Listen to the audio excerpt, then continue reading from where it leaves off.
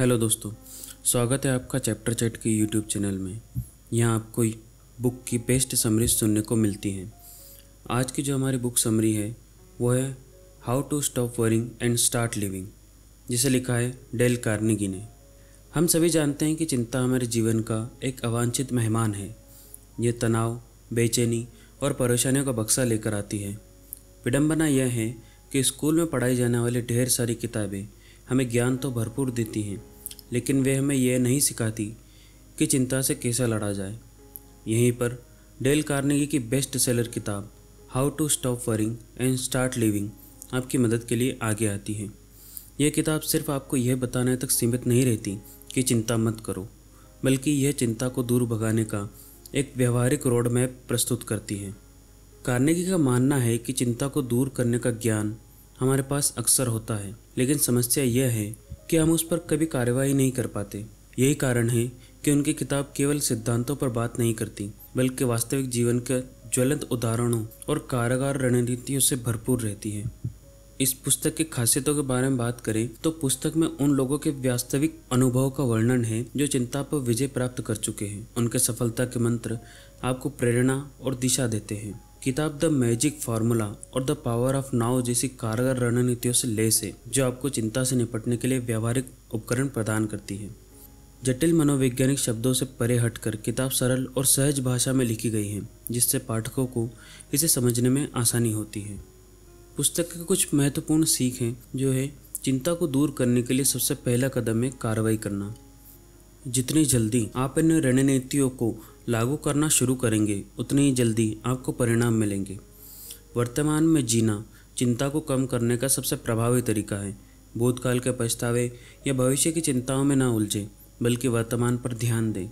चिंता को जड़ से मिटाने के लिए हम अपने सोचने के तरीके में बदलाव ला सकते हैं। किताब आपको सकारात्मक सोच विकसित करने में सहायक करती है।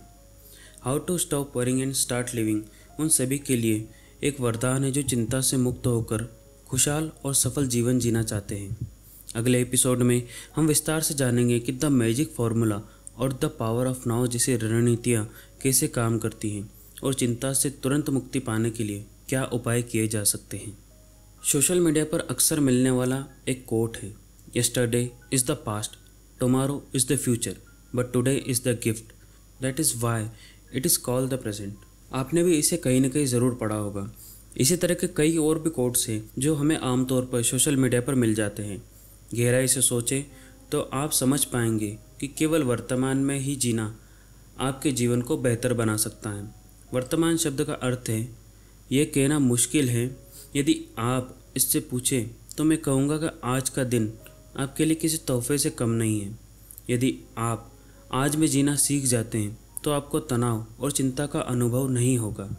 डेल कार्निके ने अपनी पुस्तक में सर विलियम ओसलर का उदाहरण दिया है। ओसलर एक प्रसिद्ध कैनेडाई डॉक्टर थे, जिन्होंने जॉन हॉकिंग्स मेडिकल स्कूल की स्थापना की थी।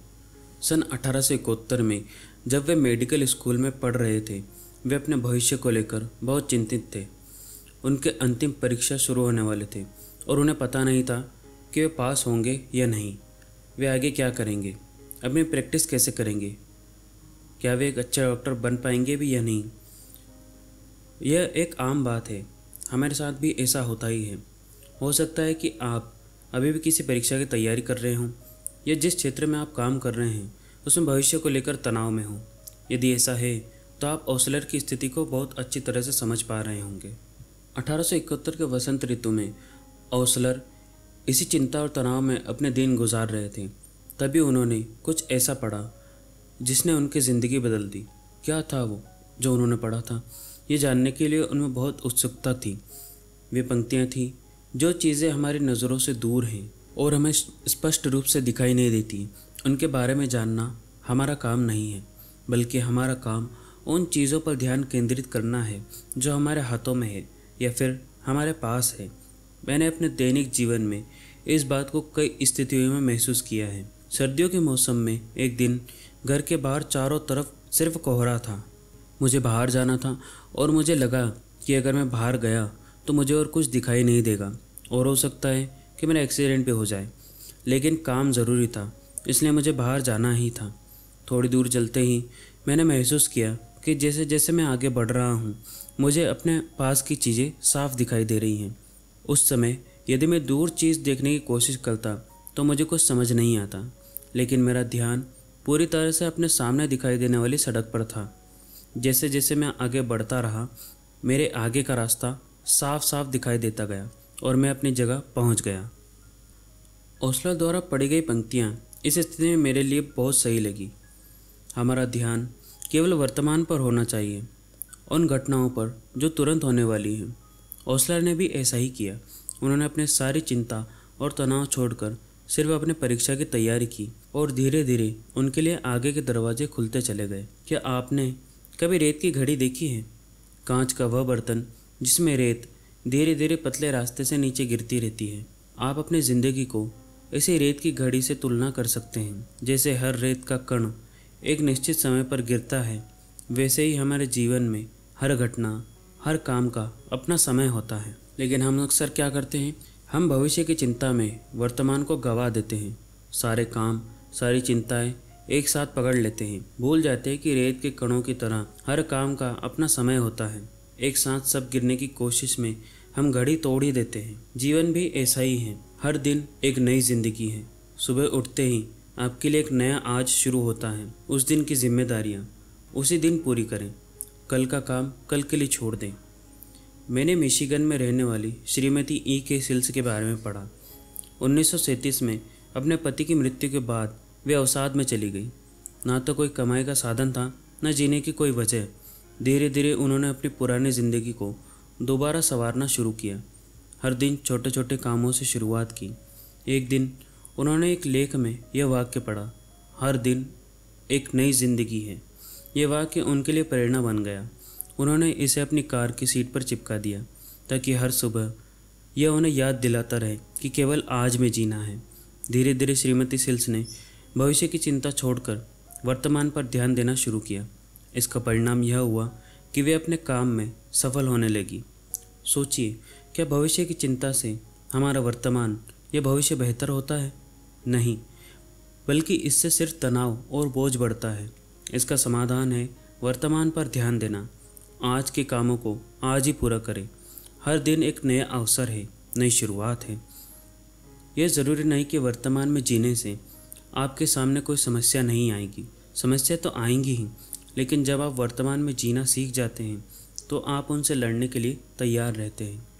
अगले एपिसोड में हम ये सीखेंगे कि समस्याओं से कैसे लड़ें, कैसे हर पल का आनंद लें और कैसे वर्तमान में जीकर जीवन को सफल बनाया जाए। चिंता की भूल भलैया से बाहर निकलने का रास्ता, अशांति से शांति की ओर। इस एपिसोड की शुरुआत करने से पहले आइए हम थोड़ा गहन विचार करें, किसी ऐसे समय को याद करें, जब चिंता ने आपको जकड़ लिया था और आप क्लियरली सोच भी नहीं पा रहे थे। भावना का ज्वार भाटा आपको बाहर ले जा रहा था और आप आगे क्या करें? इस असमंजस में पूरी तरह से उलझ गए थे। अब उस परिस्थिति के परिणाम पर गौर करें। वही मुद्दा जिसने आपकी रातों की नींद चुरा ली थी, क्या वो आज भी आपको परेशान करता है? या आपने सुख शांति पा ली है और इन चिंताओं को पीछे छोड़ दिया है? इसका जवाब, एक एक स्ट्रॉन्ग एक्सेप्टेंस में है और वो है नहीं। आज आप उस स्थिति से परेशान नहीं हैं। ये मैं पूरे विश्वास से कह सकता हूँ, क्योंकि कभी मैं भी आपकी नाव में सवार था। आपकी तरह मैं भी बेवजह की चिंताओं के जाल में फंस जाता था और उन्हें अपने भावों पर हावी होने देता था। लेकिन आज जब मैं पीछे मुड़कर देखता हूँ तो या तो उन बातों पर हंस पड़ता हूँ या फिर उन्हें अपने इनमेच्योर होने का हिस्सा मानकर आगे बढ़ जाता हूँ। चिंता वो कपटी भावना है जो हमारी वास्तविकता को तोड़ने में माहिर है। ये छोटी छोटी घटनाओं को भी विशाल समस्याओं का रूप दे देती है। यह हमारे भविष्य पर एक काला सया डालती है, जिसमें कोई उम्मीद या संभावना नहीं होती और यह हमारे वर्तमान में घुसपैठ कर लेती है। उस खुशी और शांति को चुरा लेती है जो हमारे जीवन को समृद्ध कर सकती थी। चिंता का तोड़ नहीं बल्कि उसका सामना प्रभावी ढंग से करने की क्षमता विकसित करना ही इसका असली इलाज है। यह चिंताओं के क्षणिक स्वरूप को पहचानने के बारे में है। ये समझने के बारे में है कि वे अक्सर ठोस खतरों के बजाय गैर वास्तविक भयों से उपजती हैं। चिंता के चंगुल से मुक्ति पाने का रास्ता हमारे विचारों को बदलने के निरंतर प्रयास से होकर जाता है। इसके लिए हमें अपने दिमाग द्वारा गढ़ी गई विकृत कहानियों को चुनौती देनी होगी और उनकी जगह अधिक सटीक और सशक्त दृष्टिकोणों को स्थापित करना होगा। तनाव जीवन का एक अभिन्न अंग है। काम, रिश्ते और अनसर्टेनिटीज ये सभी तनाव का कारण बन सकते हैं। अत्यधिक तनाव हमारे मानसिक और शारीरिक स्वास्थ्य पर नकारात्मक प्रभाव डाल सकता है। लेकिन क्या आप जानते हैं कि तनाव से निपटने के लिए कुछ आसान तरीके भी हैं? आज हम एक ऐसी कहानी आपसे शेयर करेंगे, जो आपको तनाव से मुक्ति पाने के तीन सरल मंत्र सिखाएगी। प्रिपरेशन एक्सेप्टेंस एंड करेक्शन एक बार की बात है, एक इंजीनियर बफेलो फौज कंपनी में काम करता था। एक दिन उसने कंपनी के लिए बीस हज़ार डॉलर की मशीन स्थापित की। दुर्भाग्य से मशीन काम नहीं कर रही थी। इंजीनियर घबरा गया। उसे डर था कि उसे अपनी नौकरी गंवानी पड़ेगी और कंपनी को भारी नुकसान होगा। उसने टेंशन ही टेंशन में घंटों बिता दिए, लेकिन उसे कोई समाधान नहीं मिल पाया। अचानक उसे एक जादुई सूत्र याद आया, जो उसने एक किताब में पढ़ा था। सूत्र के तीन चरण, सबसे पहला, सबसे बुरे के लिए तैयार रहें। सबसे पहले सोचें कि इस स्थिति में सबसे बुरा क्या हो सकता है। क्या आपको अपनी नौकरी गंवानी पड़ेगी? क्या आपको पैसे को नुकसान होगा? सबसे बुरे परिदृश्य के बारे में सोचने से आपको यह स्वीकार करने में मदद मिलेगी कि क्या हो सकता है। और इससे निपटने के लिए आप क्या कर सकते हैं? सेकंड जो हो चुका है, उसे स्वीकार करें। एक बार जब आप ये समझ जाते हैं कि सबसे बुरा क्या हो सकता है तो अगला कदम है कि जो हो चुका है, उसे स्वीकार करें। अतीत को बदलने की कोशिश करने से तनाव और बढ़ेगा। इसके बजाय, अपनी ऊर्जा को वर्तमान पर केंद्रित करें और आगे बढ़ने के तरीके खोजें। तीसरा, सुधार पर ध्यान दें। जब आपने अपनी स्थिति को स्वीकार कर लिया है तो यह सोचने का समय है कि आप इसे कैसे सुधार सकते हैं। क्या आप कुछ अलग कर सकते थे? क्या आप स्थिति को बेहतर बनाने के लिए कुछ कर सकते हैं? अब देखिए, इंजीनियर ने क्या किया? इंजीनियर ने जादुई तीनों सूत्रों का पालन किया। उसने सोचा कि सबसे बुरा क्या हो सकता है? उसे अपनी नौकरी गंवानी पड़ेगी और कंपनी को बीस हज़ार डॉलर का नुकसान होगा। फिर उसने स्वीकार किया कि मशीन काम नहीं कर रही है और वह कुछ भी नहीं कर सकता, जो पहले ही हो चुका है। अंत में उसने इस बात पर ध्यान केंद्रित किया कि वह स्थिति को कैसे सुधार सकता है। उसने मशीन का गहन एनालिसिस किया और पाया कि पाँच हज़ार डॉलर के अतिरिक्त निवेश से इसे ठीक किया जा सकता है। इंजीनियर ने कंपनी के प्रबंधक से बात की और उन्हें अपनी योजना समझाई। प्रबंधक इंजीनियर के पहल से प्रभावित हुए और उन्होंने उसे मशीन को ठीक करने के लिए आवश्यक धन देने की मंजूरी दे दी। इंजीनियर ने मशीन को सफलतापूर्वक ठीक किया और कंपनी को बीस हज़ार डॉलर का नुकसान होने से बचा लिया। इस कहानी से हमें यह सीख मिलती है कि तनाव से निपटने के लिए हम जादुई तीनों सूत्रों का उपयोग करें। जब हम तनावग्रस्त होते हैं तो हमें अक्सर ऐसा लगता है कि स्थिति हमारे नियंत्रण से बाहर है, लेकिन यह सच नहीं है। हमेशा ऐसे कदम होते हैं, जो हम स्थिति को बेहतर बनाने के लिए उठा सकते हैं। जादुई फार्मूला नंबर दो। पिछले एपिसोड में हमने जादुई फार्मूला नंबर एक के बारे में सीखा था, जो पहले से ही हो चुकी समस्याओं से निपटने में मददगार होती है। लेकिन क्या होगा जब चिंता किसी आने वाले काम को लेकर हो? ऐसे मामलों में जादुई फार्मूला नंबर एक काम नहीं करेगा, इसलिए अब हम जादुई फार्मूला नंबर दो सीखेंगे। जो आपको आने वाली चिंता से मुक्ति दिलाने में मदद करेगा। जादुई फार्मूला नंबर के तीन चरण। सबसे पहला, समस्या का विश्लेषण। सबसे पहले हमें यह समझना होगा कि हमारी चिंता किस बात को लेकर है। इसके लिए हमें उस समस्या से जुड़ी सभी जानकारी इकट्ठा करनी होगी। खुद से सवाल पूछें, जैसे, मैं किस बात से परेशान हूँ? इस चिंता का कारण क्या है? क्या यह चिंता जायज़ है? दूसरा संभावित समाधानों की सूची बनाना। एक बार जब हमें समस्या की अच्छे से समझ हो जाए तो हमें उसके संभावित समाधानों की सूची बनानी होगी। जितने अधिक विकल्प होंगे, उतना ही बेहतर होगा। तीसरा, सर्वश्रेष्ठ समाधान का चुनाव और कार्रवाई। अब हमें इन सभी समाधानों का मूल्यांकन करना होगा और सबसे अच्छा विकल्प चुनना होगा। यह विकल्प आपके लिए व्यवहारिक, प्रभावी और समयबद्ध होना चाहिए। एक बार जब आप अपना समाधान चुन लेते हैं तो तुरंत कार्रवाई शुरू कर दें। जितनी जल्दी आप समस्या का समाधान करेंगे, उतनी ही जल्दी आपकी चिंता दूर होगी। विचार कहाँ से आया? यह विचार मूल रूप से कोलंबिया कॉलेज के प्रोफेसर डेनियल हॉक्स द्वारा प्रस्तुत किया गया था। उनका मानना है कि यह सूत्र किसी भी समस्या को हल करने में मददगार हो सकता है और आपको बड़ी से बड़ी चिंता से बचा सकता है। इस सूत्र के लाभ यह हैं कि यह आपको अपनी चिंता को स्पष्ट रूप से समझने में मदद करता है। यह आपको विभिन्न समाधानों पर विचार करने और सबसे अच्छा विकल्प चुनने में सक्षम बनाता है। यह आपको कार्रवाई करने और अपनी चिंता को दूर करने के लिए प्रेरित करता है। अगले एपिसोड में हम आपके तनाव के कारणों और आप गलत कहाँ कर रहे हैं, इस बारे में जानेंगे। सबसे कम तनाव वाला इंसान कौन है? क्या आपने कभी सोचा है कि सबसे कम तनाव वाला इंसान कौन होता है? वो जो सबसे ज़्यादा काम करता है और सबसे ज़्यादा व्यस्त रहता है। शायद ये आपको अजीब लगे, लेकिन ये सच है। ये समझ के लिए मैं आपको मेरिन की कहानी सुनाता हूँ। मेरिन की पाँच साल की बेटी की मृत्यु हो चुकी थी, जिससे वो पूरी तरह टूट गई थी। दस महीने बाद उन्हें एक और बेटी का आशीर्वाद मिला, जिसने उन्हें थोड़ी उम्मीद दी। लेकिन सिर्फ़ पाँच दिन बाद उनकी दूसरी बेटी की भी मृत्यु हो गई। अपने दो बच्चों को खोने का दुख कैसा होगा, यह आप कभी सोच भी नहीं सकते। मेरिन पूरी तरह से जीने की उम्मीद छोड़ चुकी थी। अपनी दो बेटियों के दुख में वह यह भी नहीं देख पा रही थी कि उनके चार साल का एक बेटा भी है। दिन भर घर में खुद को बंद रखना, कोई काम ना कर पाना, किसी से मिलना जुलना नहीं। अब यह मेरिन की ज़िंदगी थी। एक दिन उनके बेटे ने उनसे ज़िद की कि मेरिन उनके साथ एक पोर्ट बनाए। मेरिन का मन कभी भी काम करने का नहीं था। पर अपने बेटे को मना नहीं कर पाई। उन्होंने चार घंटे लगाकर अपने बेटे के साथ उस पोर्ट को बनाया और इन चार घंटों में एक अद्भुत बात हुई। मेरिन अपने बेटे के साथ इतनी व्यस्त हो गई कि उन्हें अपने दुख, अपनी टेंशन की याद ही नहीं रही। मेरिन ने खुद भी इस बात को महसूस किया कि जब वे खुद को काम में व्यस्त रखती हैं तो उन्हें तनाव महसूस नहीं होता। लेकिन जब वे कुछ नहीं करती तो उनका दिमाग हर तरीके से नकारात्मक विचारों के पीछे भागने लगता है। यह बात रिसर्च से भी सिद्ध होती है।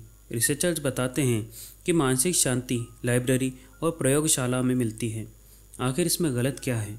लाइब्रेरी और प्रयोगशालाएँ ऐसी जगहें होती हैं जहाँ इंसान लगातार अपने दिमाग को किसी न किसी चीज़ में व्यस्त रखता है, जिसकी वजह से उसे किसी दूसरी चीज़ को सोचने का समय नहीं मिलता।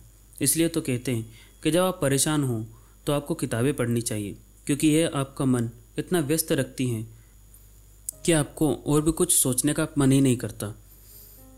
आप खुद भी एक छोटा सा प्रयोग करके देख सकते हैं और इस बात को समझ सकते हैं। क्या आपने कभी सोचा है कि आप एक समय में एक ही चीज़ के बारे में क्यों सोच सकते हैं?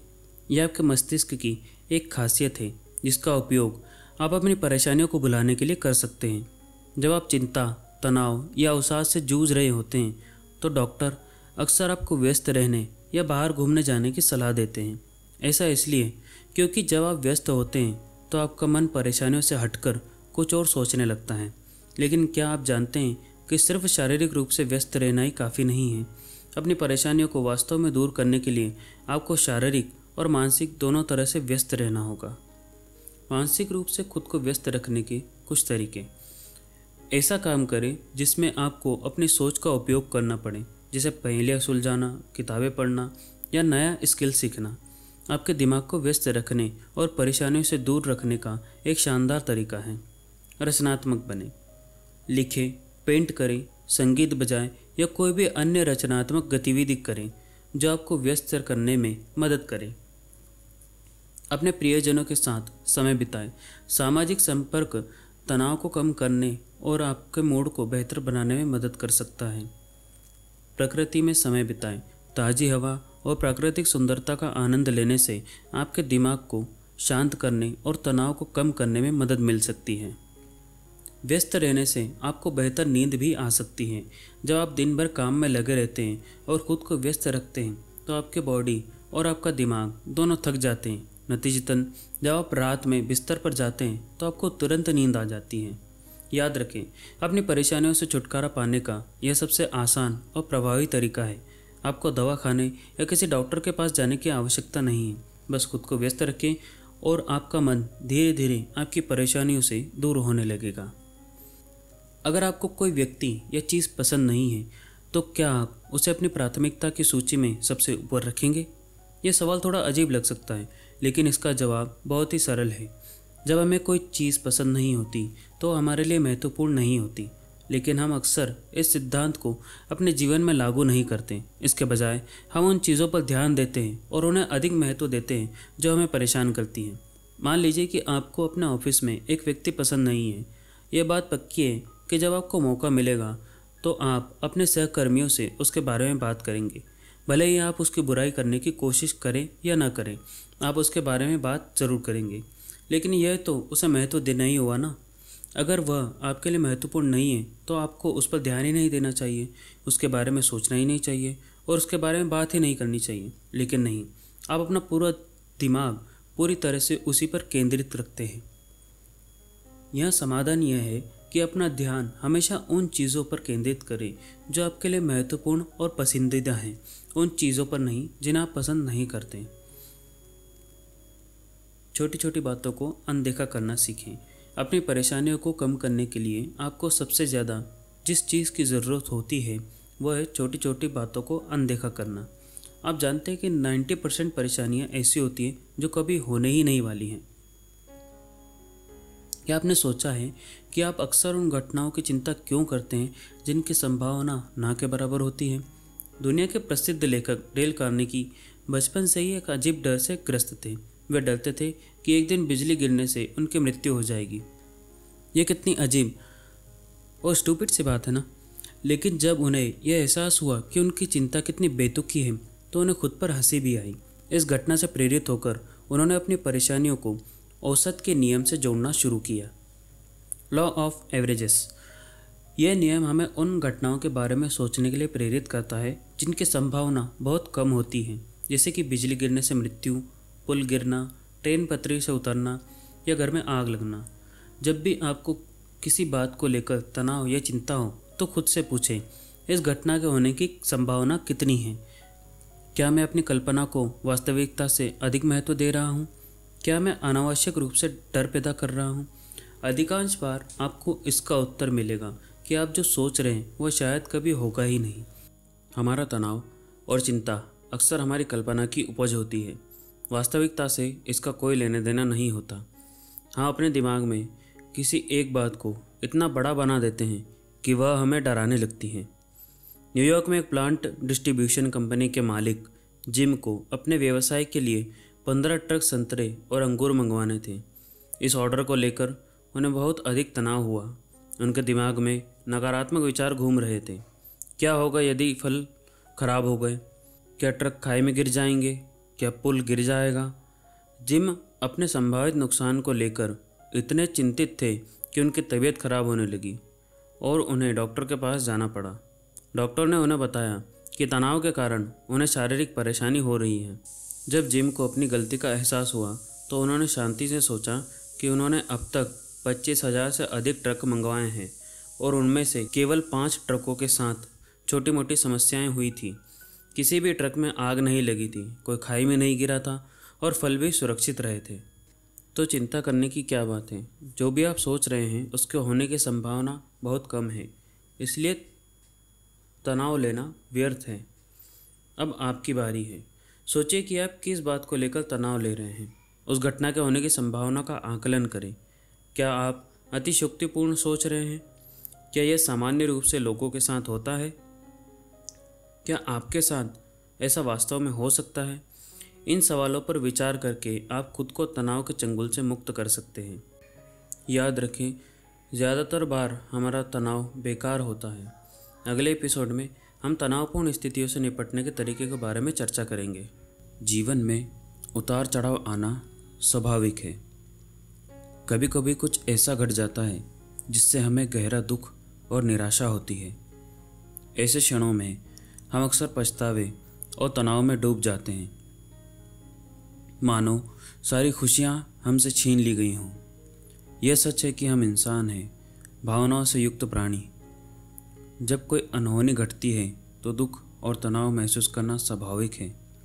लेकिन क्या इस दुख के भंवर में डूबकर हम अपना जीवन बर्बाद कर सकते हैं? क्या अपनी सेहत को बिगाड़ कर और जीवन जीने की इच्छा त्याग कर हम उस मुश्किल परिस्थिति से बाहर निकल सकते हैं। नहीं, बिल्कुल नहीं। यह सोचना गलत है कि ऐसी परिस्थितियों से निकलना असंभव है। थोड़ी सी जानकारी और सही मार्गदर्शन के साथ आप इन मुश्किलों का सामना कर सकते हैं और आगे बढ़ सकते हैं। सोचिए, क्या इतने विशाल ज़िंदगी में कभी कोई समस्या नहीं आएगी? क्या हम कभी दुखी नहीं होंगे?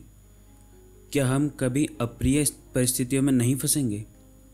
कड़वा सच तो यह है कि जीवन में ऐसे क्षण बार बार आएँगे। लेकिन हमें यह सीखना होगा कि इन मुश्किलों का सामना कैसे करें, इनसे कैसे बाहर निकलें। यह सीख ही हमें जीवन में आगे बढ़ने और सफलता हासिल करने में मदद करेगी। इमेजिन कीजिए, आप लिफ्ट में प्रवेश करते हैं और वहाँ आपको एक ऐसा व्यक्ति मिलता है जिसके बाएँ हाथ की कलाई के ऊपर का हिस्सा कटा हुआ है। एक पल के लिए सोचिए, उस व्यक्ति का जीवन कैसा होगा। उसकी मनोदशा कैसी होगी? क्या वह हमसे भी ज़्यादा दुखी रहेगा? आपको शायद यही लगेगा कि एक हाथ ना होना एक बड़ी समस्या है, और वह निश्चित रूप से दुखी होगा। लेकिन कहानी यहीं खत्म नहीं होती। यह व्यक्ति न केवल हंसमुख और खुश मिजाज था, बल्कि वह अपना काम भी पूरी लगन और उत्साह से कर रहा था। जब डेल कार्नेगी ने उससे पूछा कि क्या उसे कभी अपने हाथ की कमी महसूस नहीं होती तो उसने मुस्कुराते हुए कहा हाँ कभी कभी महसूस होती है, खासकर जब मुझे सुई में धागा डालने की आवश्यकता होती है। उसने आगे कहा, जो होना था वो हो चुका। अब मैं या तो इस बात की चिंता करके अपनी ज़िंदगी बर्बाद कर सकता हूँ, या फिर इस स्थिति को स्वीकार करके आगे बढ़ सकता हूँ। हालाँकि मेरे हाथ वापस नहीं आने वाले, लेकिन कम से कम मैं इस स्थिति को स्वीकार करके खुश ज़रूर रह सकता हूँ। तो इस व्यक्ति से हमें क्या सीख मिलती है? जब हमारे साथ कुछ बुरा या अनपेक्षित होता है तो हम अक्सर चिंता, दुख और गुस्से से घिर जाते हैं। हम दूसरों को दोष देते हैं, भाग्य को कोसते हैं और यह सोचकर खुद को सताते हैं कि काश ऐसा ना होता। लेकिन क्या इन सबसे कुछ बदलता है? क्या हम दुखी रहना बंद कर देते हैं? नहीं, बल्कि हम और भी अधिक दुखी और निराश हो जाते हैं और धीरे धीरे मानसिक और शारीरिक रूप से बीमार हो जाते हैं। इसके बजाय हमें उस स्थिति को स्वीकार करना चाहिए। और खुद से कहना चाहिए कि जो हुआ, वो हुआ। अब उसे बदल नहीं सकते। यह स्वीकृति हमें शांत और मज़बूत बनाएगी। कई बार हमें लगता है कि हम मुश्किल परिस्थितियों का सामना करने के लिए पर्याप्त तो मज़बूत नहीं हैं, लेकिन ये सच नहीं है। हमारे अंदर हर परिस्थिति का सामना करने की क्षमता होती है। बस हमें उस क्षमता को पहचानने और उसका उपयोग करने की आवश्यकता है। लिफ्ट में मिले उस व्यक्ति ने डेल कार्निकी के लिए एक नया दृष्टिकोण सिखाया उसने हमें भी यह सिखाया कि परिस्थितियों से हार ना मानकर उनका सामना करने का हौसला रखना चाहिए। यह हौसला ही हमें जीवन में आगे बढ़ने और खुश रहने में मदद करेगा। बूथ टार्किंटन एक ऐसा नाम जो साहस और आत्मबल की प्रेरणा बन गया। साठ साल की उम्र में जब जीवन का सूरज ढलने लगता है, तभी उनके जीवन में एक अप्रत्याशित मोड़ आया। उनकी आँखों की रोशनी धीरे धीरे क्षीण हो रही थी। जिसके परिणाम स्वरूप वे अंधेपन की ओर बढ़ रहे थे। यह खबर सुनते ही उनके मन में उथल पुथल मच गई। वे हमेशा से ये कहते थे कि वे दुनिया में कुछ भी स्वीकार कर सकते हैं, लेकिन अंधेपन को स्वीकार करना उनके लिए असंभव था, लेकिन नियति को कुछ और ही मंजूर था। उन्होंने अपनी आँखों की रोशनी खो दी, लेकिन उन्होंने अपनी आशा और दृढ़ संकल्प नहीं खोया। उनके पास दुखी होने, तनाव लेने रोने और भाग्य को दोष देने के कई मौके थे, लेकिन उन्होंने इन सब रास्तों को चुनने के बजाय स्वीकृति का मार्ग चुना। उन्होंने कहा, अब जो हो चुका है, उसे बदला नहीं जा सकता, लेकिन मैं इसे स्वीकार करता हूँ। अपनी आँखों की रोशनी वापस पाने के लिए उन्होंने साठ साल की उम्र में बारह आँखों के ऑपरेशन करवाने का साहसिक फैसला लिया। यह एक कठिन और चुनौतीपूर्ण यात्रा थी, लेकिन उन्होंने हार नहीं मानी। हर ऑपरेशन के बाद थोड़ी उम्मीद के साथ वे अगले ऑपरेशन की प्रतीक्षा करते थे। भले ही उन्हें सफलता नहीं मिली, लेकिन उन्होंने हार नहीं मानी। उन्होंने अपने चेहरे पर मुस्कान बनाए रखी और कहा, यह मेरे जीवन का एक नया अनुभव है, जिसे मैं पूरी तरह से जी रहा हूँ। बूट टार्गिंटन का जीवन उन सभी लोगों के लिए एक प्रेरणा है, जो जीवन की चुनौतियों का सामना कर रहे हैं। उन्होंने सिखाया है कि स्वीकृति और आशावाद के साथ हम जीवन में आगे आने वाली हर मुश्किल पर विजय प्राप्त कर सकते हैं। उनकी कहानी में हमें यह भी याद दिलाती हैं कि जीवन का हर पल अनमोल है, चाहे वह रोशनी से भरा हो या अंधेरे से। बूथ टार्किंटन सचमुच एक प्रेरणा है। डॉक्टर पॉल ब्रांडी अपने अद्वितीय शिक्षण शैली के लिए जाने जाते हैं। एक बार अपने कक्षा में एक अद्भुत दृष्टांत प्रस्तुत करते हैं। वे एक गिलास दूध लेकर आते हैं। और उसे बच्चों के सामने सिंक में फेंक देते हैं। दूध धीरे धीरे सिंक से नीचे बह जाता है। यह चीज़ बच्चों को बहुत भ्रमित कर देती है। डॉक्टर पॉल फिर उनसे पूछते हैं, क्या हम इस गिरे हुए दूध को वापस गिलास में इकट्ठा कर सकते हैं? सभी बच्चों ने ना में जवाब देते हैं। अगला प्रश्न, क्या यह गिरा हुआ दूध अब हमारे किसी काम का है? फिर से सभी ने नकारात्मक जवाब देते हैं।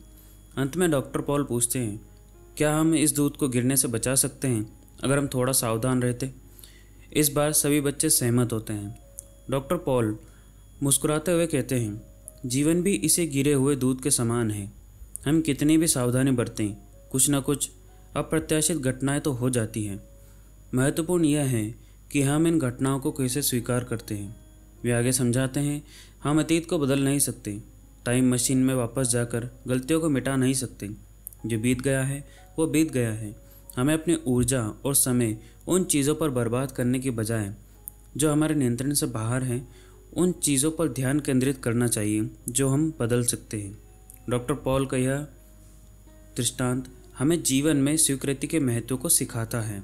स्वीकृति का मतलब यह नहीं है कि हम बुरी घटना को स्वीकार करते हैं या उनसे सहमत होते हैं। इसका मतलब है कि हम यह स्वीकार करते हैं कि ये घटनाएँ घटित हुई हैं और हम इनके साथ आगे बढ़ने के लिए तैयार हैं। जीवन में स्वीकृति लाना आसान नहीं होता। यह एक सीखने की प्रक्रिया है, जिसमें समय और प्रयास लगता है। लेकिन जब हम स्वीकृति को अपनाते हैं तो हम अपने जीवन में शांति और खुशी पा सकते हैं। कभी कभी ज़िंदगी में ऐसे मोड़ आते हैं, जब तनाव का बोझ इतना बढ़ जाता है कि लगता है मानो दम घुट रहा है। चिंताएँ मन को घेर लेती हैं और शांति छीन लेती हैं। ऐसे मुश्किल दौर में क्या करें? घबराए नहीं आपके लिए मैं लाया हूँ तनाव से निपटने का एक अद्भुत तरीका, डेडलाइन का जादू। यह तरीका बेहद सरल है और असरदार भी। जब भी आपको किसी परिस्थिति को लेकर तनाव महसूस हो तो उसे एक निश्चित समय सीमा दे दें। मान लीजिए, आपको किसी महत्वपूर्ण प्रोजेक्ट को पूरा करना है और इस वजह से आप परेशान हैं। इस स्थिति में खुद से कहें, ठीक है, मैं अगले दो दिन इस प्रोजेक्ट पर पूरी तरह से ध्यान लगाऊँगा। इन दो दिनों में मैं अपना सब कुछ दूँगा लेकिन उसके बाद मैं इस बारे में बिल्कुल नहीं सोचूँगा। यह डेडलाइन का जादू आपके दिमाग को नियंत्रण करने में मदद करेगा। आप जानते हैं कि आपके पास एक निश्चित समय सीमा है, इसलिए आप अपना पूरा ध्यान और ऊर्जा उसी काम पर लगा देंगे। इससे आपको तनाव कम करने और अधिक कुशलता से काम करने में मदद मिलेगी। यह डेडलाइन का जादू सिर्फ़ काम पर ही नहीं, बल्कि गुस्सा, शांति और नकारात्मक विचारों पर भी काम करता है। जब भी आपको लगे कि कोई नकारात्मक भावना आपको घेर रही है तो उसे एक समय सीमा दे दें। खुद से कहें, ठीक है, मैं अगले एक घंटे के लिए इस बारे में सोचूँगा, लेकिन उसके बाद मैं इसे पूरी तरह से भूल जाऊँगा। यह याद रखना महत्वपूर्ण है कि जीवन में तनावपूर्ण परिस्थितियाँ आती रहेंगी। हमें इससे डरना नहीं चाहिए, बल्कि इनका सामना करना चाहिए। डेडलाइन का जादू आपको ऐसा करने में मदद कर सकता है। यह आपके तनाव को नियंत्रण करने नकारात्मक विचार को दूर करने और जीवन पर अधिक सकारात्मक दृष्टिकोण रखने में मदद करेगा। तो अगली बार, जब आप तनाव से घिरे हों तो डेडलाइन का जादू ज़रूर आजमाएँ। आप देखेंगे कि ये कितना प्रभावी है। ये याद रखें यह जादू तभी काम करेगा जब आप इसका पूरा ईमानदारी से इस्तेमाल करेंगे। डेडलाइन तय करने के बाद उस पर टिके रहें। समय सीमा समाप्त होने के बाद उस नकारात्मक विचार या परिस्थिति को पूरी तरह से छोड़ दें। यह भी ध्यान रखें कि डेडलाइन का जादू हर बार हर परिस्थिति में काम नहीं कर सकता। यदि आप तनाव से बहुत अधिक जूझ रहे हैं तो किसी मनोवैज्ञानिक या डॉक्टर से सलाह लेने में संकोच ना करें। इस एपिसोड में हमने एक्सेप्टेंस और त्याग की अवधारणाओं पर चर्चा की। अगले एपिसोड में हम आपको बताएँगे कि आप अपने जीवन में इन अवधारणाओं को कैसे लागू कर सकते हैं और तनावपूर्ण परिस्थितियों का सामना करने में इनका उपयोग कैसे कर सकते हैं। इस एपिसोड में आगे बढ़ने से पहले एक महत्वपूर्ण बात समझना ज़रूरी है। कई बार अनजाने में हम चिंता और तनाव शब्दों का इस्तेमाल एक दूसरे के स्थान पर कर देते हैं, जबकि इन दोनों भावनाओं में बुनियादी अंतर होता है। चिंता एक सकारात्मक भावना है, जो किसी विषय या व्यक्ति के प्रति हमारी परवाह और ज़िम्मेदारी को दर्शाती है। ये एक प्रेरक शक्ति बनकर हमें उस विषय पर ध्यान केंद्रित करने और आवश्यक कार्रवाई करने के लिए प्रेरित करती है। दूसरी ओर तनाव यानी कि वरी, एक नकारात्मक भावना है, जो अत्यधिक चिंता और भय से उत्पन्न होती है। यह हमें नकारात्मक विचारों के चक्कर में फंसाकर निर्णय लेने की क्षमता को कमज़ोर करती है। उदाहरण से देखते हैं। यदि आप किसी परीक्षा को लेकर चिंतित हैं तो यह एक सकारात्मक चिंता है, जो आपको बेहतर तैयारी करने के लिए प्रेरित करेगी। लेकिन यदि आप परीक्षा को लेकर इतना अधिक तनावग्रस्त हैं कि आप पढ़ाई पर ध्यान केंद्रित नहीं कर पा रहे तो यह नकारात्मक परिणाम दे सकती है। मनोवैज्ञानिक डॉक्टर जे. हेडफील्ड ने इस प्रयोग के माध्यम से यह सिद्ध किया है कि हमारी सोच, हमारी शारीरिक क्षमताओं को कैसे प्रभावित कर सकती है। उन्होंने तीन अलग अलग लोगों को डायनानोमीटर दिया, जो बल मापने का उपकरण होता है। पहले चरण में उन्होंने लोगों को बताया कि वे स्वस्थ और मज़बूत हैं। इनके परिणाम स्वरूप डायनामोमीटर की रीडिंग में उनकी औसत पकड़ 101 पाउंड थी। दूसरे चरण में उन्होंने लोगों को हिप्नोटाइज करके यह विश्वास दिलाया कि वे कमज़ोर और असहाय हैं। इसके परिणाम स्वरूप डायनामोमीटर की रीडिंग में उनकी औसत पकड़ सिर्फ़ उनतीस पाउंड ही रह गई थी। तीसरे चरण में उन्होंने लोगों को प्रेरित किया कि वे अत्यंत शक्तिशाली हैं। इसके परिणाम स्वरूप डायनामोमीटर की रीडिंग में उनकी औसत पकड़ 124 पाउंड तक बढ़ गई थी। जो कि सामान्य से भी अधिक थी। यह प्रयोग दर्शाता है कि हमारी सोच चाहे सकारात्मक हो या नकारात्मक, हमारी शारीरिक क्षमताओं को महत्वपूर्ण रूप से प्रभावित कर सकती है। उच्च शिक्षा और अवसाद। यह कहानी किसी ऐसे छात्र की नहीं है, जो पढ़ाई में अव्वल था, बल्कि यह उन छात्रों की कहानी है, जो हर छोटी मोटी बात पर परेशान हो जाते थे और धीरे धीरे डिप्रेशन के दलदल में डूब जाते हैं। कहानी के केंद्र में एक छात्र है जो हर असफलता को व्यक्तिगत रूप से ले लेता है और ख़ुद को बेकार समझने लगता है। उसे लगता है कि शायद उसे किसी ट्रिप की ज़रूरत है। शायद जगह बदलने से उसकी स्थिति में सुधार होगा। फ्लोरिडा जाने के लिए आवेदन करते समय उसे अपने पिता का एक पत्र मिलता है, जिसे उसे फ्लोरिडा पहुँचने पर ही खोलना था। पत्र में पिता ने कुछ कड़वी सच्चाइयाँ लिखी हैं। बेटा तुम घर से 1500 मील दूर चले गए हो, लेकिन मुझे पता है कि तुम वहाँ भी वैसा ही महसूस कर रहे हो जैसे यहाँ करते हो, क्योंकि इसका कारण तुम ही हो। जब तुम्हें यह बात समझ आ जाएगी कि तुम्हें अपने आसपास की चीज़ें नहीं, बल्कि अपने अंदर की चीज़ें प्रभावित कर रही हैं तो वापस लौट आना। पत्र पढ़कर छात्र को गुस्सा आता है। उसे लगता है कि उसके पिता उससे प्यार या सहानुभूति जताएँगे, लेकिन पत्र पढ़ने के बाद उसे ऐसा कुछ भी एहसास नहीं होता। उसी रात वह एक चर्च में पहुँचता है और वहाँ बाइबल की बात सुनता है, जो उसकी प्रेमिका और उसके पिता ने उसे कई बार बताई थी कि दुनिया जीतने से ज़्यादा अपने मन को जीतना ज़रूरी है। यह सुनकर उसे एहसास होता है कि समस्या वास्तव में उसके अंदर है, उसके दिमाग में है। वह चीज़ों को एक अलग दृष्टिकोण से देखने में असमर्थ हैं। हम भी मुश्किल परिस्थितियों में यही गलती करते हैं। हम खुद को बदलने के बजाय दुनिया को बदलने की कोशिश करते हैं और इसी वजह से हम कभी अपनी परेशानियों से लड़ नहीं पाते। अगर हम सब इस बात को समझ जाएँ कि खुशी, गम, हर चीज़, सफलता और असफलता सब कुछ हमारे मन में है तो हम कभी भी बाहरी परिस्थितियों से प्रभावित नहीं होंगे। कबीर ने भी कहा है, मन के हारे हार है और मन के जीते जीत। यानी आपके हर विचार और आपकी हर जीत सब कुछ आपके मन पर निर्भर करती हैं। आप जैसा सोचेंगे, आपके साथ भी वैसा ही होगा। अगर आप चाहें तो अपने विचारों के माध्यम से अपनी ज़िंदगी को स्वर्ग की तरह खूबसूरत बना सकते हैं। और अगर आप चाहें तो अपनी ज़िंदगी नरक भी बना सकते हैं। यह सब कुछ आपकी सोच पर निर्भर करता है। सिर्फ़ एक दिन के लिए इस विचार को व्यवहारिक रूप से लागू करके देखिए और फ़र्क आपको खुद नज़र आएगा। खुद से कहिए कि सिर्फ़ आज के लिए मैं खुश रहूँगा और किसी भी बात या व्यक्ति को अपना मूड ख़राब करने नहीं दूँगा। सिर्फ़ आज के लिए मैं अपनी परिस्थितियों को समायोजित करने के बजाय उन्हें स्वीकार करने की कोशिश करूँगा और ख़ुद को दूसरों के साथ फिट करने की कोशिश करूँगा। सिर्फ़ आज के लिए मैं सब कुछ सकारात्मक सोचूँगा। सिर्फ़ आज के लिए मैं तनाव, चिंता को दूर करने का अभ्यास करूँगा। रिसर्चर्स बताते हैं कि नफ़रत, दुश्मनी और गुस्सा जैसी नकारात्मक भावनाएँ मन में तनाव और चिंता पैदा करती हैं। इन भावनाओं से ग्रस्त व्यक्ति कभी भी शांत और सुखी नहीं रह सकता। यदि आप अपने मन में इस तरह के नकारात्मकता को दूर करना चाहते हैं तो लोगों को क्षमा करना सीखना होगा। हर समस्या और हर मुद्दा आपके ध्यान, समय और ऊर्जा के योग्य नहीं होता। यदि आप इन नकारात्मक विचारों को अपने मन में रखते हैं तो आप केवल खुद को ही नुकसान पहुंचाते हैं। यदि आपका किसी से झगड़ा हो जाता है या आपके किसी से दुश्मनी है तो कोशिश करें कि आप जितनी जल्दी हो सके अपने दिमाग से इन नकारात्मक भावनाओं को निकाल दें।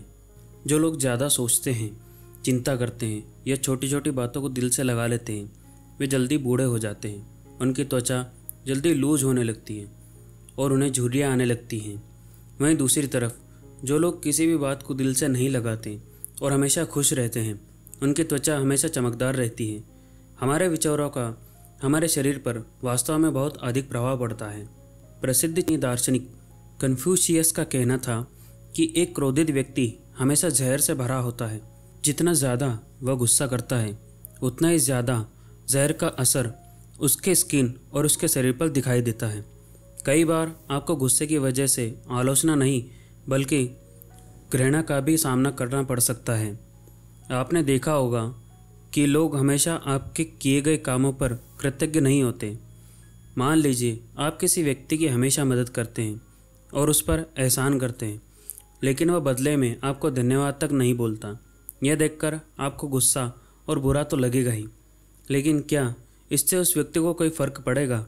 बिल्कुल नहीं, बल्कि इससे आपके दिमाग पर असर होगा और आप तनाव लेते रहेंगे। इस प्रकार की चिंता से दूर रहने का सबसे आसान तरीका ये है कि किसी से ना तो एहसान की उम्मीद रखिए और ना ही अपेक्षा करें कि कोई आपके सराहना करेगा। यदि आपने किसी के लिए कुछ अच्छा किया है तो उसे करिए और भूल जाइए। ये मत सोचिए कि वह व्यक्ति आपको धन्यवाद कहेगा और आपकी तारीफ़ करेगा, क्योंकि यदि ऐसा नहीं हुआ तो आपको बुरा तो लगेगा ही और आप तनाव के चक्र में चले जाएँगे। यहाँ मैं आपको एक बात बताना चाहता हूँ कि यदि आप सचमुच में प्यार और ध्यान पाना चाहते हैं तो कभी भी इसकी मांग ना करें। खुद लोगों से ये ना कहें कि मैंने तुम्हारे लिए यह किया है, मैंने तुम्हारे लिए वो किया है। जब आप अच्छा काम करते हैं तो उसे कहकर बताने की आवश्यकता नहीं होती। अच्छे काम खुद ही बोलते हैं। लोगों से कृतज्ञता की अपेक्षा करने से बेहतर है कि आप दूसरों की मदद करने के बाद मिलने वाली खुशी का आनंद लें। जब आप किसी की मदद करते हैं तो आपके अंदर से एक खुशी महसूस होती है। फिर चाहे वह कितनी भी छोटी मदद क्यों ना हो। ऐसा बिल्कुल भी नहीं है कि सामने वाले को वह मदद दिखाई ही नहीं देगी। उसे दिखाई देती है, बस वह कहता नहीं है। लेकिन अगर आप बार बार इस बात का उल्लेख करते रहेंगे कि आपने किसके लिए क्या किया है। तो आपके द्वारा की गई मदद का महत्वता कम हो जाती है। लोगों को यह बात बिल्कुल ही पसंद नहीं आती कि आपने अपने किए हुए अच्छे कामों को बार बार दोहराते रहें। दूसरों से कृतज्ञता की अपेक्षा ना रखने के साथ साथ अपने पास जो है, उसके लिए आभारी होना भी उतना ही महत्वपूर्ण है। हमारे आसपास इतना कुछ है जिसके लिए हम कृतज्ञ हो सकते हैं। फिर चाहे वह स्वस्थ शरीर हो प्यार करने वाला परिवार हो या फिर एक अच्छा दोस्त हो, हर रात सोने से पहले उन चीज़ों के बारे में सोचने के लिए कुछ समय निकालें, जिनके लिए आप आभारी हैं। यह सरल अभ्यास आपके जीवन में सकारात्मक बदलाव ला सकता है। ग्रेटिट्यूड का भाव बनाए रखने का एक और शानदार तरीका है ग्रेटिट्यूड डायरी रखना। हर दिन, उस दिन के लिए कम से कम तीन चीज़ें लिखें, जिनके लिए आप आभारी हैं। यह छोटी छोटी चीज़ें हो सकती हैं। जैसे कि अगर आपको स्वादिष्ट भोजन मिला है तो आप उसके लिए कृतज्ञता महसूस कर सकते हैं। अगर आप सनराइज़ या सनसेट देखते हैं, और वहाँ पर आपको आनंद मिलता है तो आप उसके लिए ग्रेटफुल हो सकते हैं। या किसी प्रियजन की ऐसी मुस्कान, जो आपका सारा टेंशन ख़त्म कर दे, उसके लिए आप कृतज्ञ हो सकते हैं। क्षमा और कृतज्ञता का अभ्यास करना न केवल आपके मानसिक और भावनात्मक स्वास्थ्य के लिए अच्छा है, बल्कि ये आपके आसपास के लोगों के साथ आपके संबंधों को भी मज़बूत करता है।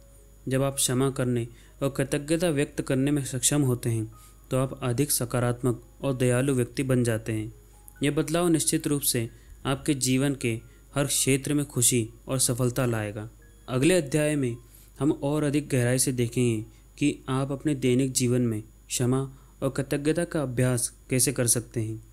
हम कुछ सरल लेकिन प्रभावी तकनीकों पर भी चर्चा करेंगे, जिनका उपयोग करके आप अपने जीवन में अधिक कृतज्ञता ला सकते हैं। जीवन नब्बे परसेंट बुरा या दस परसेंट अच्छा। हमारे जीवन में नब्बे परसेंट चीज़ें बुरी होती हैं, केवल दस परसेंट चीज़ें ही सकारात्मक होती हैं। क्या ये सच है? आइए एक क्षण के लिए रुकें और गहराई से सोचें, क्या वाकई में आपका जीवन नब्बे परसेंट बुरा है? क्या आपके जीवन में परेशानियाँ, चिंताएँ या दुखी हैं? यदि सोचने के बाद भी आपका उत्तर हाँ में है तो हमें एक प्रयोग करने की आवश्यकता है। मान लें कि आपके जीवन में नब्बे परसेंट चीज़ें बुरी हैं। इसका मतलब है कि मैं आपको एक अरब डॉलर दूँगा और बदले में मैं आपसे कुछ भी मांग सकता हूँ। क्या आप मुझे खुशी खुशी अपनी आँखें देंगे या फिर अपने हाथ, पैर? क्या आप इतने पैसे के बदले में अपने अंग किसी को दान कर सकते हैं? आपका जवाब निश्चित रूप से नहीं होगा। लेकिन क्यों? इसका सीधा जवाब यह है कि मैंने आपसे जो चीज़ें मांगी हैं, वे आपके लिए अमूल्य हैं। चाहे कोई आपको कितना भी पैसा दे, दुनिया की सारी खुशियाँ दे या आपके लिए महल खड़ा कर दे, फिर भी आप इन चीज़ों को किसी को नहीं देंगे। अब खुद से पूछिए, जब आपके पास इतनी अनमोल चीज़ें हैं तो क्या आपको अभी भी अपने जीवन से शिकायत है? असल में जीवन अच्छा या बुरा नहीं होता। यह आपका दृष्टिकोण और आप परिस्थितियों का सामना कैसे करते हैं, इस पर निर्भर करता है। यदि आप हमेशा नकारात्मक पहलुओं पर ध्यान केंद्रित करते हैं तो आपको ऐसा लगेगा कि आपका जीवन बुरा है। लेकिन यदि आप सकारात्मकता पर ध्यान देते हैं और उन चीज़ों के लिए आभारी होते हैं जो आपके पास हैं तो आप पाएँगे कि आपके जीवन में बहुत कुछ अच्छा है। याद रखें, जीवन एक उपहार है। इसकी हर पल सराहना करें और इसे पूरी तरह से जीने का प्रयास करें। वेव सिटी के चकाचौंध भरी गलियों में रहने वाले हेरल एबेट अपनी ज़िंदगी से बेहद नाखुश थे। उनके सिर पर लाखों का कर्ज था, जिसके बोझ तले वे दबे हुए थे। उनका एक छोटा सा किराना स्टोर था, जो उन्हें मुश्किल से ही गुजारा करने के लिए पैसे देता था। हर पल उनके ज़िंदगी में शिकायतों का ढेर बढ़ता ही जा रहा था। एक दिन वे कैंसर सिटी जाते हुए रास्ते में एक अजीब गरीब नज़ारों से रूबरू हुए। एक आदमी, जिसके दोनों पैर नहीं थे, लकड़ी के एक प्लेटफॉर्म पर बैठकर चल रहा था। उसके हाथों में सामान का थैला था। हेरल को देखते ही उस अजनबी ने चेहरे पर एक बड़ी सी मुस्कान लाकर कहा, गुड मॉर्निंग, सर. हेरल स्तब्ध रह गए। उस आदमी की मुस्कान देखकर उन्हें अपने आप पर गुस्सा आया। वे सोचने लगे, मैं कितना भाग्यशाली हूँ कि मेरे पास दो स्वस्थ पैर हैं। चलने फिरने की क्षमता है, मेरे पास घर है, दुकान है, कमाई का ज़रिया है, फिर भी मैं खुश नहीं हूँ। और यह आदमी, जिसके पास कुछ भी नहीं है, बेघर है, फिर भी उसके चेहरे पर इतनी खुशी क्यों है? उसी पल हेरल को एहसास हुआ कि उनके ज़िंदगी में भले ही लाखों मुश्किलें हों, लेकिन उनके पास अनगिनत आशीर्वाद भी हैं। अक्सर हम अपनी समस्याओं पर इतना ध्यान केंद्रित करते हैं कि आशीर्वादों को नज़रअंदाज कर देते हैं। अगर आप किसी समूह में बैठे हों और आपसे पूछा जाए कि आपकी ज़िंदगी में क्या परेशानियाँ हैं तो हर कोई अपने अपने समस्याएँ गिनाने लगेगा। लेकिन शायद ही कोई यह कहे कि मेरी ज़िंदगी में कोई परेशानी नहीं है। हेरल ने फैसला किया कि वे उस समूह में पहले व्यक्ति बनेंगे जो ये कहेगा कि उन्हें कोई परेशानी नहीं है। भले ही यह पूरी तरह से सच ना हो, भले ही उनकी ज़िंदगी में दस परसेंट परेशानियाँ हों, फिर भी वे अपने आशीर्वादों को गिनने से पहले अपनी समस्याओं को नहीं गिनाएँगे। और सचमुच उनकी ज़िंदगी बदल गई। हेरल ने हर चीज़ में आशीर्वाद ढूंढना सीख लिया, चाहे वह उनका शरीर हो, उनका चेहरा हो, उनकी नौकरी हो या कुछ भी। उन्होंने याद रखा कि वे उस दुनिया में अद्वितीय हैं, किसी और की तरह नहीं। कई लोग अपने शरीर, अपने चेहरे, अपनी शैली से ना खुश होते हैं और दूसरों को खासकर मशहूर हस्तियों की नकल करने लगते हैं। कुछ लोग तो इस चक्कर में सर्जरी तक करवा लेते हैं, लेकिन इससे क्या होगा? आप अपना स्टाइल छोड़कर सोनम कपूर का स्टाइल अपनाते हैं तो आपकी कीमत कम होगी, आपकी मौलिकता ख़त्म हो जाएगी। जब हम प्रसिद्ध हस्तियों के बारे में सोचते हैं तो हमें उनमें क्या पसंद आता है? उनकी मौलिकता, उनकी विशिष्टता, है ना? तो फिर आप वैसे क्यों नहीं बन सकते? आप अपनी विशिष्टता को क्यों खो रहे हैं? आप जो हैं, जैसे हैं, अद्वितीय हैं। किसी और की नकल करने से अपनी कीमत कम मत कीजिए। मानव का स्वभाव है, चाहे आपकी इच्छाओं को कितना ही नज़रअंदाज किया जाए, आपकी गलतियों को लेकर आलोचनात्मक टिप्पणियाँ सदैव स्मरण में रहती हैं। कई बार यह आलोचना केवल इसलिए भी होती है क्योंकि आलोचक आपको खुद से आगे बढ़ता हुआ नहीं देख पाते। जब भी कोई आपकी आलोचना करता है तो आपके मन में उसके प्रति नकारात्मक भावनाएँ उमड़ने लगती हैं। आप सोचते हैं कि उन्होंने मेरे बारे में इतना गलत क्यों कहा? मुझे गुस्सा आ रहा है, रोना आ रहा है, तनाव हो रहा है। लेकिन यह आलोचनाओं से निपटने का उचित तरीका नहीं है। हम आलोचना करने वालों को तो नहीं बदल सकते। परंतु स्वयं को बदलकर उनके शब्दों का प्रभाव ज़रूर कम कर सकते हैं। सबसे पहले यह स्वीकार करना होगा कि आप सभी को खुश नहीं कर सकते। यदि आप एक व्यक्ति को खुश करने का प्रयास करेंगे तो दूसरे को नाराज़गी हो सकती है। यदि आप सभी को खुश करने का प्रयास करेंगे तो और किसी को बुरा लग सकता है। इसलिए खुश करने की व्यर्थ कोशिश छोड़ दें। बस ईमानदारी से अपना कार्य करें। यदि किसी को आपका कार्य पसंद नहीं आता तो यह उनकी समस्या है। जब तक आप जानते हैं कि आप जो कर रहे हैं, वह सही है, तब तक आपको किसी भी बात या किसी भी आलोचना पर ध्यान देने की आवश्यकता नहीं है। कभी कभी आलोचनाएँ क्रिएटिव होती हैं, यानी लोग आपकी भलाई के लिए कुछ सुझाव देते हैं। ऐसे मामलों में आपको उनकी बातों पर ध्यान देना चाहिए और स्वयं को बेहतर बनाने का प्रयास करना चाहिए। अपनी गलतियों को सुधारने और खुद को बेहतर बनाने का सबसे अच्छा तरीका है आत्ममूल्यांकन। अपनी कमियों और खामियों पर चिंतन करें। अपनी कार्य प्रणाली का एनालिसिस करें। जहाँ सुधार की आवश्यकता हो, वहाँ बदलाव लाने का प्रयास करें। आलोचनाओं को नकारात्मकता के रूप में ग्रहण करने के बजाय उन्हें सीखने और विकास के अवसर के रूप में देखें। रचनात्मक आलोचनाओं को स्वीकार करें और उनसे प्रेरणा लें। आत्ममूल्यांकन के माध्यम से अपनी कमियों को दूर करें और निरंतर प्रगति करते रहें। हर शनिवार को एच पी हाउ ओल्ड एक अजीब गरीब रस्म निभाते थे। वे पूरे हफ़्ते की गतिविधियों का गहन एनालिसिस करते थे और एक स्वयं मूल्यांकन पत्र तैयार करते थे। इस पत्र में वे स्याही से अपनी सफलताओं और असफलताओं को उकेरते थे। उन गलतियों को उजागर करते थे जिन्हें सुधार की आवश्यकता थी। यह आत्म परीक्षण अगले सप्ताह के लिए एक मार्गदर्शक बन जाता था। प्रगति की सीढ़ी पर चढ़ने का एक नया अवसर बन जाता था। न्यूयॉर्क शहर की हलचल में एक महत्वाकांक्षी सोप सेल्समैन अपनी पीठ के थैले में असफलता का बोझ ढो रहा था। हफ़्ते भर की मेहनत के बावजूद वह एक भी साबुन नहीं बेच पाया था। निराशा के सागर में डूबते हुए उसने खुद पर सवाल उठाया, क्या वह अपने काम में नाकाम रहा था? क्या उसकी रणनीति में खामियाँ थी?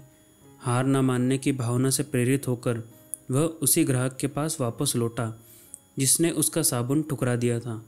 इस बार वह बिक्री करने नहीं, बल्कि सीखने आया था। विनम्रतापूर्वक उसने पूछा, सर, मैं आज साबुन बेचने नहीं आया हूँ। मैं बस ये जानने आया हूँ कि मैंने क्या गलतियाँ की, जिसके कारण आपने मेरे साबुन को नहीं खरीदा। ग्राहक ने बेझिझक अपनी राय रखी। हर इस बिंदु को उजागर किया, जहाँ सेल्समैन चूक गया था। ध्यान से सुनते हुए, सॉप सेल्समैन ने अपनी कमियों को नोट किया, उनसे सीखने और सुधारने का दृढ़ संकल्प लिया। समय के साथ आत्ममूल्यांकन और रचनात्मक आलोचनाओं के इस मिश्रण ने उस सॉप सेल्समैन को एक असाधारण व्यक्ति में ढाला। धीरे धीरे वह सीढ़ियाँ चढ़ता गया। अंततः वह कोलगेट की कंपनी के शीर्ष पर पहुँच गया। यह कहानी हमें सिखाती है कि जीवन भर आलोचनाएँ आती रहेंगी। महत्वपूर्ण यह है कि हम उनसे सीखें, उनका उपयोग खुद को बेहतर बनाने के लिए करें। रचनात्मक आत्मूल्यांकन और सकारात्मक आलोचना का मिश्रण सफलता की कुंजी है। जब जीवन की राहें कंटीली हो जाती हैं, जब मुश्किलें खड़ी हो जाती हैं तो मनुष्य सहज रूप से किसी सहारे की तलाश करता है। अनेकों लोग इस सहारे को ईश्वर की भक्ति में ढूंढते हैं। प्रार्थना के माध्यम से वे अपनी पीड़ा व्यक्त करते हैं, सहायता की याचना करते हैं और एक अदृश्य शक्ति से जोड़ने का प्रयास करते हैं। यह सच है कि प्रार्थना में एक अद्भुत शक्ति होती है। यह हमें कठिन परिस्थितियों में धैर्य और आशा प्रदान करती है। यह हमें विश्वास दिलाती है कि सब कुछ ठीक हो जाएगा, भले ही हमारी आँखों के सामने कुछ और ही दिखाई दे रहा हो। डेल कार्नेगी, प्रसिद्ध अमेरिकी लेखक और प्रेरक वक्ता बचपन में अत्यंत गरीबी का सामना कर रहे थे। उनका परिवार मिसौरी के एक छोटे से गाँव में रहता था, जहाँ उनके पिता खेती करते थे। डेल के पास कभी भी पर्याप्त पैसे नहीं होते थे और परिवार को अक्सर भोजन के लिए भी संघर्ष करना पड़ता था। एक सर्दियों की रात, डेल के पिता जीवन के बोझ से दबे आत्महत्या करने का निर्णय लेते हैं। वो डेल को साथ लेकर नदी के किनारे पर जाते हैं और कूदने के लिए तैयार होते हैं। लेकिन तभी डेल की माँ, जो एक गहरी आस्थावान महिला थी, उनके पास आती हैं। वे अपने पति को शांत करती हैं, उन्हें ईश्वर पर भरोसा रखने के लिए प्रेरित करती हैं और उन्हें याद दिलाती हैं कि जीवन में हमेशा उम्मीद रहती है। डेल के पिता अपनी पत्नी के विश्वास से प्रेरित होते हैं और आत्महत्या का विचार त्याग देते हैं। इस घटना ने डेल के जीवन पर गहरा प्रभाव डाला और उन्हें सिखाया कि प्रार्थना और आस्था कितनी शक्तिशाली हो सकती है। यह कहानी हमें यह सिखाती है कि प्रार्थना केवल एक धार्मिक अनुष्ठान नहीं है, बल्कि यह एक शक्तिशाली उपकरण है, जो हमें जीवन की चुनौतियों का सामना करने में मदद कर सकता है। यह हमें आशा, धैर्य और आंतरिक शक्ति प्रदान करता है। चाहे आप किसी भी धर्म का अनुसरण करते हो या ना हो, प्रार्थना के सकारात्मक प्रभाव को नकारा नहीं जा सकता। यह हमें तनाव कम करने, कृतज्ञता व्यक्त करने और दूसरों के साथ जुड़ने में मदद कर सकता है। अगली बार जब आप जीवन में मुश्किलों का सामना कर रहे हों तो प्रार्थना की शक्ति को याद रखें। ईश्वर से अपने पीड़ा व्यक्त करें, सहायता की याचना करें और विश्वास रखें कि सब कुछ ठीक हो जाएगा। आरसी बांटने की अद्भुत यात्रा एरब्स के बीच आत्मखोज और विश्वास की शक्ति। पेरिस की धरती से एरब्स के रेगिस्तान तक। आरसी बाटनी, जिनका जन्म पेरिस में हुआ था, एक असाधारण व्यक्ति थे, जिन्होंने अपने जीवन में अनेक उतार चढ़ाव देखे। ये पैसे से सैनिक थे और ब्रिटिश सेना में कार्य करते हुए भारत सहित अनेक देशों की उन्होंने यात्रा की। प्रथम विश्व युद्ध के दौरान भी उन्होंने बहादुरी से अपनी भूमिका निभाई। युद्ध के भयानक अनुभवों और भ्रष्ट राजनेताओं से निराश होकर बाटने ने सेना से अवकाश लेने का फैसला किया। वे शांति और आत्मशोध की तलाश में थे। अवकाश के बाद बॉटनी एरब्स के बीच रहने लगे। वहाँ उन्होंने एक बिल्कुल ही भिन्न संस्कृति और जीवन शैली का अनुभव किया। एरब्स के अटूट विश्वास और ईश्वर के प्रति समर्पण ने उन्हें गहराई से प्रभावित किया। एरब्स को देखकर बाटनी ने सीखा कि कैसे हर परिस्थिति में हौसला बनाए रखा जाए। वे कठिन परिस्थितियों का सामना शांत और धैर्यवान तरीके से करते थे। उनका मानना था कि जो कुछ भी हो रहा है, वह ईश्वर की इच्छा है। एरब्स के साथ रहने से बाटनी का जीवन पूरी तरह बदल गया। उन्होंने अपनी चिंताओं पर विजय प्राप्त की और ईश्वर पर पूर्ण विश्वास करना सीखा। आरसी बाटनी की कहानी हमें सिखाती है कि जीवन में आने वाली हर परिस्थिति हमें कुछ न कुछ सिखाती है। कठिन परिस्थितियों का सामना हौसले और विश्वास के साथ करना चाहिए। एरब्स की संस्कृति और आस्था से प्रेरित होकर बाटनी ने एक नया जीवन जीना सीखा और आत्म शांति प्राप्त की। टेंशन को जीवन से दूर रखें। नमस्ते दोस्तों यह हमारी बुक सीरीज़ का सबसे अंतिम और सबसे महत्वपूर्ण अध्याय है। अब तक हमने तनाव दूर करने के विभिन्न तरीकों पर चर्चा की है, लेकिन क्या होगा यदि हम तनाव को अपने जीवन में आने से ही रोक सकें? क्या यह संभव है? हाँ यह संभव है। हालाँकि हम कभी भी तनाव को आमंत्रित नहीं करते, फिर भी यह अपना रास्ता ढूंढ लेता है। इस अध्याय में हम विभिन्न परिस्थितियों के माध्यम से कुछ सावधानियों के बारे में जानेंगे। जो तनाव को जीवन में आने की संभावना को कम कर सकती हैं। थकान और तनाव। क्या आपने कभी फेटिक के बारे में सुना है? फेटिक उस स्थिति को कहते हैं, जब आप काम के कारण बहुत अधिक थकान महसूस करते हैं। यदि आप दिन भर ऑफ़िस में या घर में 16-17 घंटे रोबोट की तरह काम करते हैं तो निश्चित रूप से आप बहुत अधिक थक जाएँगे। डॉक्टरों का कहना है कि इस स्थिति में हमारे शरीर की बीमारी और भावना से लड़ने की क्षमता समाप्त हो जाती है। जब आप बहुत अधिक थक जाते हैं तो आपका शरीर अपना काम ठीक से नहीं कर पाता। वह ना तो बीमारियों से ठीक से लड़ पाता है और ना ही तनाव से। और इसी वजह से इस स्थिति से आपके डिप्रेशन में जाने या तनावग्रस्त होने की सबसे ज़्यादा संभावनाएँ होती हैं। इसलिए आराम करना आपके शरीर की सबसे बड़ी आवश्यकता है। और अक्सर हम इसे सबसे कम महत्व देते हैं। हमें लगता है कि यदि हम सात आठ घंटे की नींद पूरी कर लेते हैं तो पूरे दिन सोने की आवश्यकता नहीं होती। लेकिन ऐसा नहीं है। वेंसडे चर्चल अपने सिक्सटीज़ और सेवेंटीज़ में भी दिन के 16-17 घंटे काम करते थे। आठ साल की उम्र में इतना काम करना कोई आम बात नहीं है, लेकिन इस ऊर्जा का रहस्य क्या था? दरअसल, वे अपना आधा काम सुबह ग्यारह बजे तक पूरा कर लेते थे। ग्यारह बजे तक वह अपने बिस्तर से नहीं उठते थे। बल्कि अपने बिस्तर पर ही आरामदायक स्थिति में बैठकर वह अपने कुछ काम, जैसे टेलीफोन कॉल, ईमेल और फ़ोन कॉन्फ्रेंस, ये सब पूरा कर लेते थे। इसके बाद लंच करते ही वह एक घंटे की झपकी ले लेते थे। फिर शाम को वह डिनर से पहले दो घंटे सो जाते थे, जिसकी वजह से वह आधी रात तक जागते थे और अपना काम पूरा कर पाते थे। वह भी अपनी बॉडी को थकाए बिना। यदि आप एक या दो दिन वेंसडे चर्चर की इस आदत का पालन करके देखेंगे तो आपको भी यह महसूस होगा कि यह आदत कितनी उपयोगी है। आठ घंटे सोना, सारा दिन काम करना, यह आदत आपको बहुत ज़्यादा थका देती है, क्योंकि आपको दिन भर बिना किसी आराम के मशीन की तरह काम करना पड़ता है। लेकिन इसी के बजाय, यदि आप रात को सिर्फ़ छः घंटे सोते हैं और दिन में दो बार एक एक घंटे झपकी ले लेते हैं तो इससे आपके काम करने की क्षमता बढ़ेगी। और आपको थकान भी महसूस नहीं होगी। और जब थकान नहीं होगी तो आपको तनाव भी नहीं होगा। यदि आप काम के कारण दिन भर झपकी नहीं ले सकते तो कोशिश करें कि शाम को खाने से पहले कम से कम एक घंटे की झपकी ले लें, जिसकी वजह से आपकी बॉडी फिर से काम करने के लिए तैयार हो जाएगी। आधुनिक जीवन की भागदौड़ में हम अक्सर अपने शरीर की अनदेखी करते हैं। हम काम में डूबे रहते हैं, तनाव से जूझते हैं और अपनी मांसपेशियों को अनदेखा करते हैं। परिणाम स्वरूप हमारे मांसपेशियों में लगातार तनाव रहता है, जिससे दर्द, थकान और चिंता हो सकती है। क्या आपने कभी गौर किया है कि काम करते समय आपका सर भारीपन से झुक जाता है या आपकी आँखों की भौहें तनाव में सिमट जाती हैं? ये सभी संकेत हैं कि आपकी मांसपेशियों को आराम की आवश्यकता है।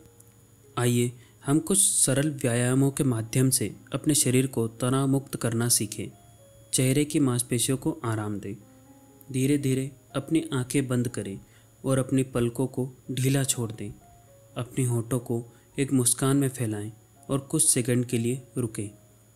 अपनी नाक को हल्के से सिकोड़ें और फिर छोड़ें। अपने चेहरे की मांसपेशियों को ढीला छोड़ दें और महसूस करें कि तनाव कैसे दूर हो रहा है। आईब्रो और गर्दन को आराम दें। अपनी आईब्रो को ऊपर उठाएँ और कुछ सेकंड के लिए रुकें। अपनी आईब्रो को नीचे गिराएँ और फिर छोड़ें। अपने सिर को धीरे धीरे एक तरफ़ घुमाएँ और फिर दूसरी तरफ़। अपनी कंधों को ऊपर उठाएँ और फिर छोड़ें।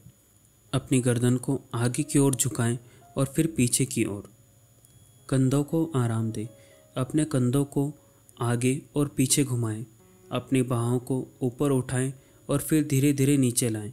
अपनी उंगलियों को फैलाएँ और मुट्ठी बांधें। अपनी कलाइयों को घुमाएँ। इन सरल व्यायामों को दिन में कई बार करें। खासकर तब जब आप तनाव महसूस कर रहे हों। आप इन व्यायामों को अपने डेस्क पर, अपनी कार में या कहीं भी कर सकते हैं। थोड़े से अभ्यास के साथ आप पाएँगे कि ये आपके तनाव के स्तर को कम करने और आपके शरीर को आराम देने में बहुत प्रभावी हैं।